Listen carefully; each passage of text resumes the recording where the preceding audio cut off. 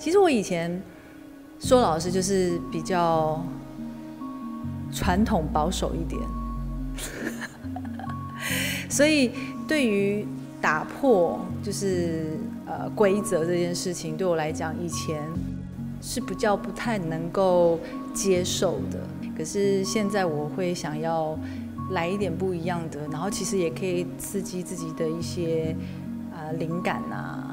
然后也会有很多意想不到的想法。小时候大家都会喜欢大眼睛的女生，但我就却喜欢细细长长的眼睛的女生，比如说吴倩莲呐，会不会太久？自己讲完之后，噔噔噔，吴倩莲好久这样，但我就觉得她很美。我觉得她是有她自己的味道、跟韵味、跟特色，所以不是说定义说大眼睛、高鼻子或者是瓜子脸就是美。我自己都很相信所谓的相由心生，所谓的相由心生，你要很清楚知道你想要成为一个怎么样的一个女生，或者是怎么样一个人，你就会慢慢的往那个方向走，而且那个方向就会形成一个属于你自己很独特的美。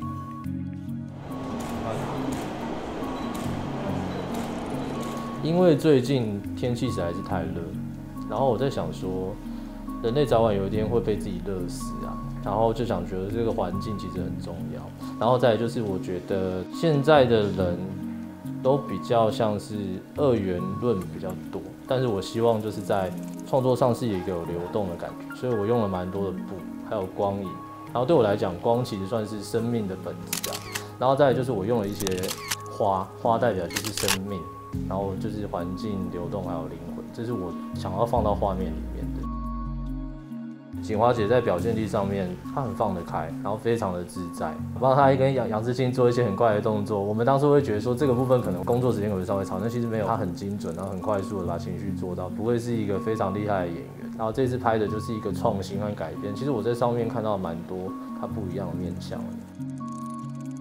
其实我非常喜欢这个主题，因为其实，在我的创作当中，其实我就是一直想要挑战一些打破规则。但，其实打破规则这件事情，教会我的其实是一群小朋友们。举例来说，他们是用着拳头去拿笔，然后，其实，在我的创作里头，我也是尽量就是照着他们的姿势去绘画出来我想要画出来的东西。然后，跟我也会用手啊，或者是我可能手边拿得到的素材去沾上颜料去创作这样子。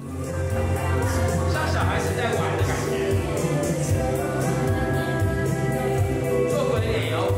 今天在来的路上，我还跟我的同事讲，就是说，哎，我今天要看到苏妈妈嘞，心情就是是非常开心的。然后，因为其实我一直有在关注她，看到她很多自己私底下的一些动态，我都觉得她其实就是一个很幽默搞怪的一个女生。然后，我希望就是这一次能够尽可能就是打破她以往给大家的形象，然后让大家有呃对她有一个新的面相这样子。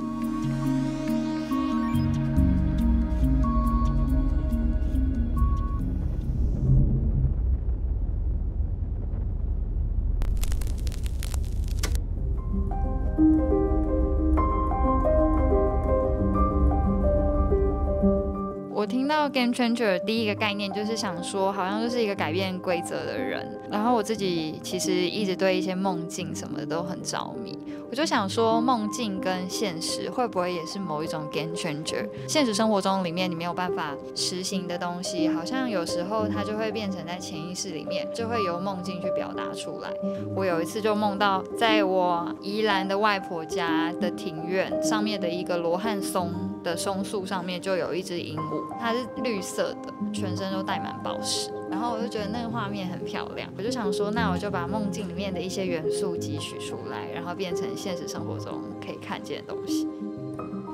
其实我这次让他的发挥自由空间比较多一点点，因为平常我在拍照的时候，其实会让艺人他们比较像照着一个剧本去走。这次我就比较想要像是梦境一样，就是他可以去在他梦里面自由的去做一些他想做的事情。那我就变成说我是这个意识的东西，我就是先给他一个空间，然后让他去做梦，在那个空间里面他可以怎么样发挥。在平面上面，他其实也可以。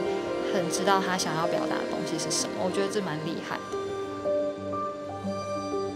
因为我是太时常做梦了，而且那个梦各种状况、情绪都有，有好笑的，然后也有很恐怖的，然后也有很悲伤的，也有很累的。很好笑的是，我依稀记得是好像我被坏人追逐，然后坏人在跟我一些打架的时候，然后坏人不知道做了一个什么动作，可能一个落空，然后没有挥到我，然后就在我面前，我真当场就笑出来。我先生在我旁边，他就说一直推我，想说我怎么了，然后推边推我边醒来的时候，我还在笑。这是我第一次梦到这么被梦笑醒的梦。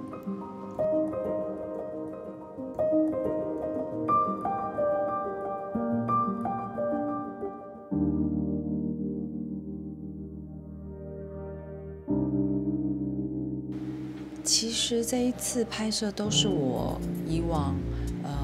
没有拍摄过的一个呃氛围跟状态。我想 Joy 他是比较有些动态，他还蛮会抓我在动态的，不管是身体的驱动跟表情的变化，我觉得他都有抓到很活泼的那一面的我。后面会有一个杨世庆制作平面设计。的，那他也是有跟我讨论说，呃，他希望我可以以什么姿态、状态、体态，然后去跟他的呃设计做一个搭配，然后他是希望我可以在地上做地板动作，其实我从来没有过。真的，这是我第一次。那这一次永华它是比较梦境，带一点点戏剧的。比如说我跟动物们的互动，有一只鹦鹉，那我要在鹦鹉的后面跟镜头的互动，带点什么样的感受？我觉得那个也是蛮戏剧化的。其实这次真的蛮开心，可以跟这么多非常有才华的人一起啊工作，然后去发掘我自己都没有发现的另一面的我。所以这一次非常开心。我的好朋友刚认识的。